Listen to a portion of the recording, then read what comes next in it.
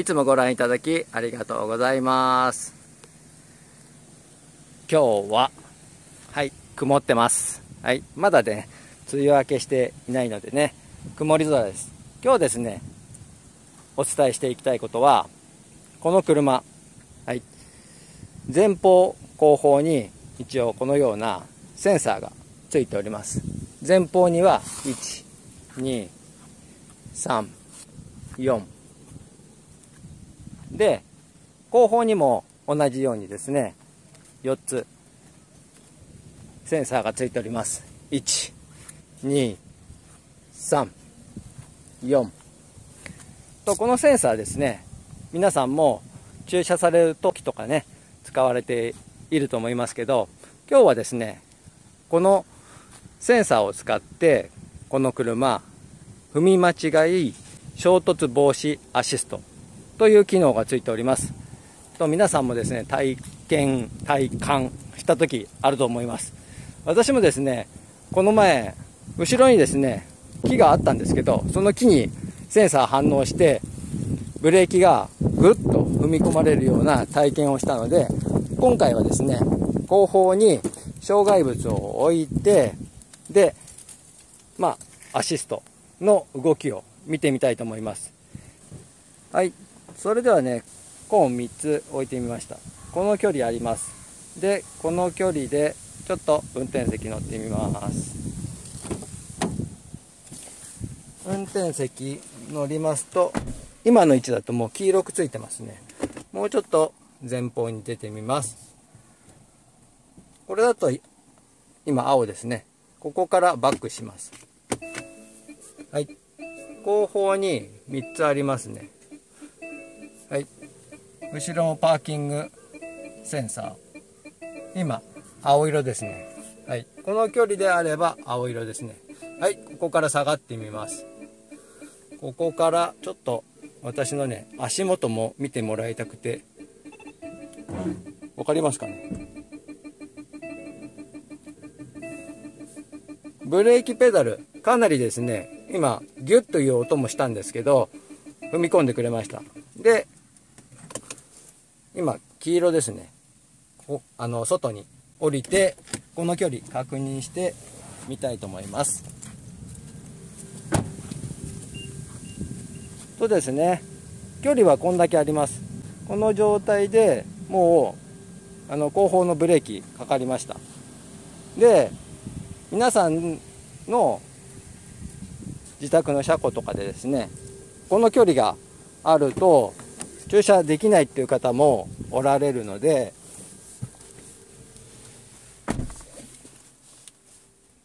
この距離以上に下げたい場合、ここのダイヤル、ダイヤルのところで、運転支援。後方検知じゃなくてですね、ここ緊急支援なんです。緊急支援。緊急支援の踏み間違い衝突防止アシスト。これをですね、外してしまう。ここ今、オフになりましたね。これをオフにすることによって、先ほど検知している部分より、もっと下がることができます。はい。では、これで、一旦前に出ます。で、ここから行きますね。バックします。で、そうすると、もうどこまででも下がれます。はい、これで当たりました。わかりますかね？この踏み間違いと衝突防止アシストを切ってしまうと、ここにオフのマークついてる状態だと、もうどこまででも下がることが可能なんですよ。だから、このように、ぶつかってしまっても、ブレーキかかりません。ね。ブレーキかからないので 壁があったらぶつかってしまうのであの皆さんですねこのタイヤ止めがあったりして自宅のねあのタイヤ止めギリギリまで下げたいっていう場合に壁ぶつからないようにですねあのちゃんと気をつけてですねここまで下がりたいっていうところでセットしてください。で今ですねこの運転支援外しましたけれど必ずこれは入れといてください。これが入ってないと、もう一度押すことによってこれ入れることができます。いや、入ってないと、あのー、運転支援してくれませんので、絶対これは元通りに緊急支援のところから、あの、入れといてください。こういうね、あのー、アシスト機能。万が一、さっきみたいに自宅の、あの、車庫が、このセンサーで反応して下がれないっていう場合のみ、今のことをやってくださいね。運転支援でもう一度やりますね。緊急支援のとこにある、この踏み間違い、衝突防止アシスト。これを外してもらって、で、バックできるようにしてください。ただし、これを外したままにしておくと、今度後方を間違えて踏み込んだ時に後方でぶつかってしまいますので、絶対、これは元通り入れといてください。はい。それでは今度、前方をやってみたいと思います。前方の方はですね、コーンを今、ここ5つ置いてみました。あの、色あんまり関係ないかもしれないんですけど、センサーの位置が、ここですよね。ここなので、こちら側が反応するのかなこちらも、センサーがここなので、正面より、ここは正面になってますね。ここも正面になってますね。はい。この状態から、ちょっと前方に進んでみたいと思います。では、前方はもうこのように見えております。それではね、5つ並べたところで、運転支援見てみたいと思います。と、私のですね、ペダル、足元が見えればと思いますので、画面とペダルと両方映すような形で進んでみます。では、行きます。おわかりますかね？はい。ここが今、ブレーキが作動しました。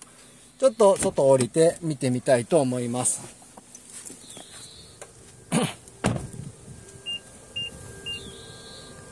距離はね、十分ある距離なんですけど、先ほどですね、このコーンを、こことここのコーンを外してしまったら、もう一度やりますね。あの、反応しなかったんですね。もう一回いきます。バックします。いきます。ここからドライブ。今3つあります。こっちは多分、青色は見てないと思います。あのセンサーが。まあ反応してたらね、ごめんなさいね。いきます。これで、ゆっくりいきます。おでも反応したか。これね、うんと、急ブレーキがかかった後、ほんと数秒の後に、あのー、運転支援外れてしまうんですよ。だから今、ギュッて止まった後に、と2、3秒、まあ1、1、1、2秒したらもうブレーキ外れるので、またちょっと前方に進んでしまいました。あのね、急ブレーキかかった時に自分が踏み込めばいいんですけど、それでも踏み込まなかったら、外れてしまいますよね。今の動きだと。言ってることが分かりますかね。1回は急ブレーキかかって止まるんですけど、その後、1秒、2秒ないと思いますね。あの、ペダルが浮いてきましたので、あの、外れます。何が言いたいかというと、急ブレーキかかったら自分で踏んでください。ということを私は伝えたいです。はい。今日ですね、このように、前方と後方、両方ですね、あの、衝突防止アシストを確認してみましたが、まあ、これですね、場所によって、まあ、後方もそうですね、前方の場所によって、この位置によって、障害物を反応しない場合もございますので、過信しないように、後方もですね、後方も、やはり、説明書にも書いてありましたよね。あの、角、角だったりすると、こっちは何にもない。ここだけ障害物があるような場合に、ここにぶつかってしまう可能性もあるので、だから、過信はしないでくださいっていうことが、まあ説明書にも書いてありますので、その点気をつけてですね、乗っていただければいいと思います。参考になりましたら、グッドボタン、チャンネル登録もよろしくお願いいたします。では。